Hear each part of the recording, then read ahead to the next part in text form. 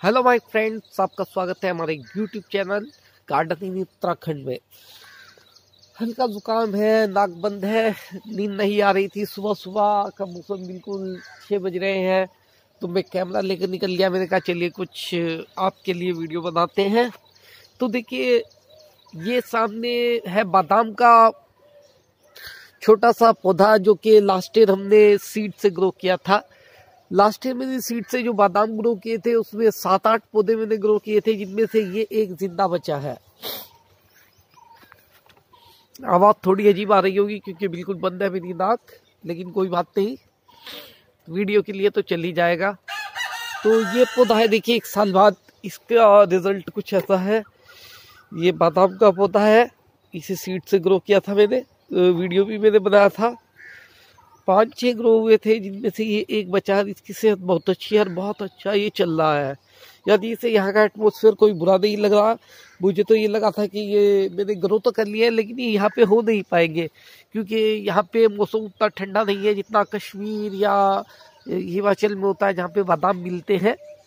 लेकिन इसकी हालत ऐसी है कि ये काफ़ी कुछ यहाँ पे बहुत अच्छे से सर्वाइव कर रहा है बहुत अच्छा हो रहा है, देखिए आप कितनी हरी भरी इसमें नई नई शाखाएँ निकली हुई है, कितना अच्छा से ये ग्रो कर रहा है यहाँ पे।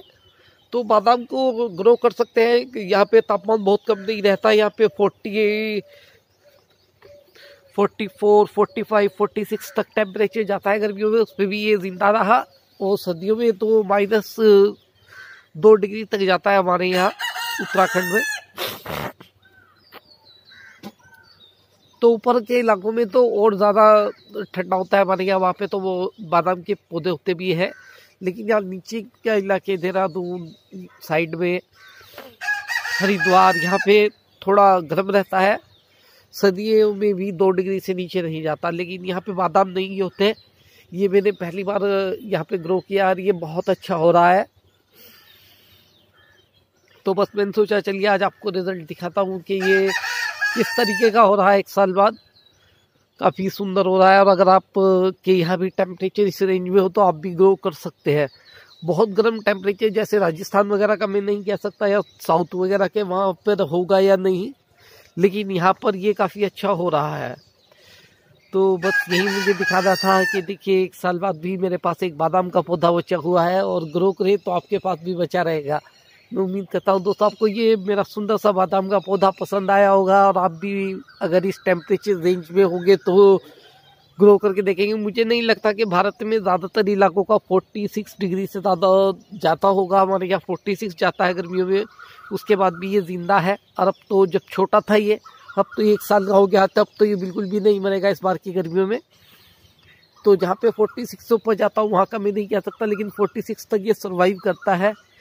चार में से एक तो बचा ही है। तो आप लगा सकते हैं। अब बादाम आएँगे या नहीं, वो नहीं कह सकते। वो तो टाइम के साथ पता चलेगा कि जब बादाम आने का टाइम होगा कि बादाम आते हैं या नहीं। मैं उम्मीद करता हूँ दोस्तों, आपको मेरा ये वीडियो पसंद आया होगा। मेरा वीडियो देखने के लिए शुक्रिया दोस्तों। मैं आपके लिए और वीडियो लेकर आता रहूँगा। धन्यवाद।